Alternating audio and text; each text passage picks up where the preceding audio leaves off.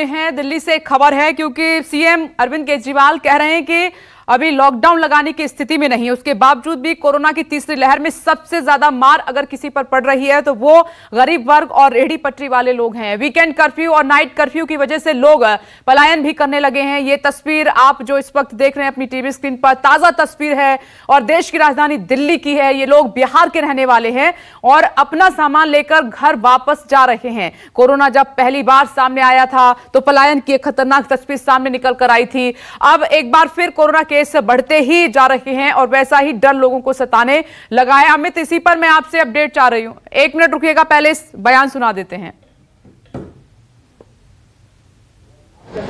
बिहार का रहने वाले हैं सर। अब कहाँ जा रहे हैं आप? गाँव जा रहे हैं। लॉकडाउन की वजह से जो है काम है नहीं उतना। और सोच रहे पिछले साल की तरह जो है दिक्कत होगा परेशानी होगा इसलिए अब ये जा रहे हैं। लेकिन अभी लॉकडाउन की घोषणा तो नहीं हुई है।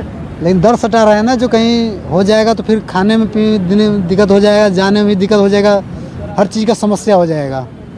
यहाँ पे क्या करते थे आप? ड्राइव करते हैं लेकिन अभी काम नहीं मिल रहा अभी काम नहीं डाउन खड़ी है गाड़ी कोई काम धंधा है नहीं राशन पानी कहाँ से आएगा?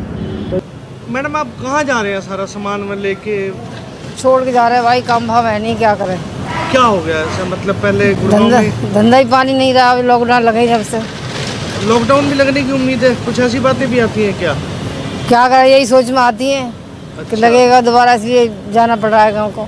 तो दिक्कत हो रही है इस टाइम हाँ। पूरी तरह। पहले पहले बीच में कुछ ठीक था? हाँ बीच में ठीक था फिर दोबारा फिर वही हो गया। तो इसलिए गुड़गांव छोड़ के जा रहे हैं हाँ। कहाँ पे आपका गाँव?